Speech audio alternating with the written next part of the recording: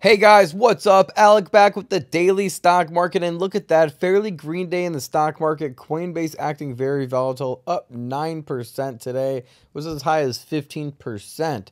We have Rivian who was up around 7% today after reporting earnings is now down 9% from highs and 7.5% after hours. We're going to be going over Rivian earnings, what happened there, as a Tesla investor or electric vehicle investor in general, it's important to know these things and see stay on top of it because if we scroll down, we can actually see that they did beat on their earnings expectations. Yes, they did come at a huge negative EPS, but they did beat expectations, yet the stock price is down. So let's dive into this video and see what that could mean for Tesla stock and other electric vehicle stocks alike.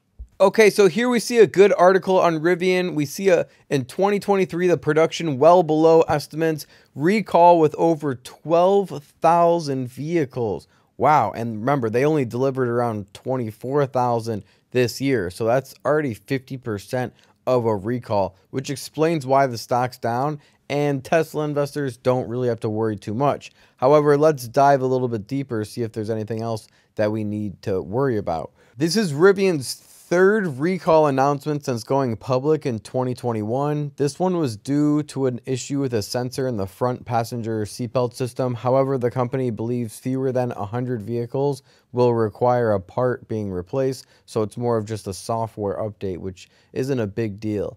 In October, it recalled about 13,000 cars due to a potential issue that could cause a driver to lose control of the steering, which is extremely concerning way more than just a seatbelt sensor. The company said it's targeting production of 50,000 cars this year, compared with analyst estimates of 67,000 units. Okay, so you can see that the guidance is significantly lower than expected. Only 50,000 instead of 67,000. And the reason why Rivian says we expect supply chain challenges to persist into 2023 but with better predictability relative to what was experienced in 2022. The company said, okay, the Irvine, California based company also reported lower than expected fourth quarter revenue as the electric vehicle firm delivered far fewer vehicles than, it's than it produced. Rivian produced 24,000 vehicles in 2022, slightly short of its target of 25,000, and they only missed it by around by around a 600 uh, delivery. So that has to be totally frustrating if you miss the mark by that small. However, it delivered only 20,000 cars last year. Revenue for the quarter ended December 31st stood at 663 million compared with analyst estimates of 740 million. Okay, which was a huge miss on revenue. They did beat on the EPS, but they gave bad guidance. They had the recall and they also missed on revenue. So overall, if we look at Rivian stock, we can see that they're still down 38% in the past three months, 71% in the past year, and they IPO'd at $106 per share. Now currently sitting at $17 per share. Personally, I'm staying away from Rivian Automotive. If they drop to under $10 per share, I'll be revisiting the stock at that price point. So for now, I'll put 1150 on the stock price. Some people think that Rivian makes a nice looking car, so they could have a space in the electric vehicles in the electric vehicle game. However, being a successful business has a lot more to do than just how something looks or the attractiveness of the product. All right, just to do a recap and to also go over what's to come this week.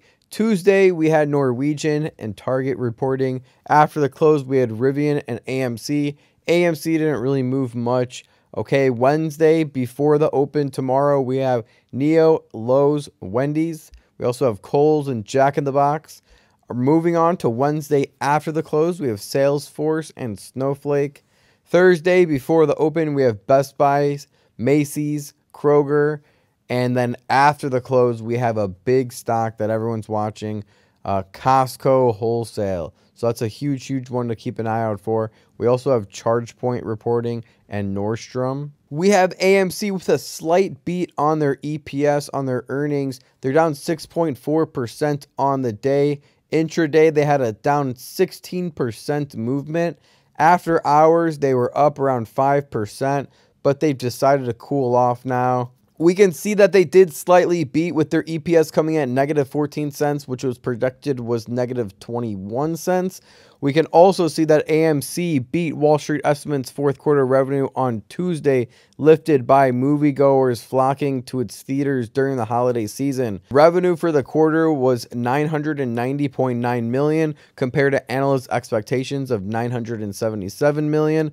Okay, so they had a double beat. Not only did they beat on their revenue, but they also beat on their EPS. So that's why the stock was up after hours. Now we are going to be going over Costco in one of the next videos. I wanted to keep this video nice and short, so make sure you're subscribed with post notifications on YouTube so you don't miss out on any future uploads. Okay, so now if you want to join my close friends list, by the way, where you can see what I'm buying, what I'm selling, options, strike price, expiration dates, and join all the success stories, with the program, go ahead and click on success number seven. Read through all the most recent success stories. If you go all the way to the right, you'll go to the most recent ones. Tons of success has been happening this week, last week, and all month long. So if you want to join the action, just shoot me a message on Instagram at the Daily Stock Market to join. Now 194,000 followers.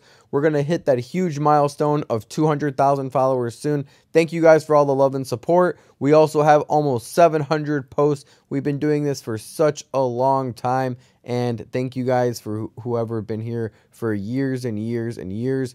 And since I've uploaded my first video and stuck with that long and share with their family and friends and their family and friends have benefited from my videos also. Thank you guys for that. If you want to join, message me on Instagram. I'll shoot you over some information to get you started. Now's the time to make 2023 your year of stock market success. Thank you guys. I'll see you in the next video. Remember, don't time the market, buy the market. Peace.